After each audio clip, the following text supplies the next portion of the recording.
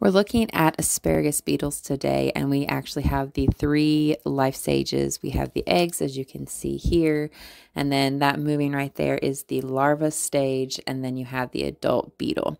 We're going to spray one dose of, of uh, Protection Plus, and as you can see, we're going to be timing it to see how long it takes to kill.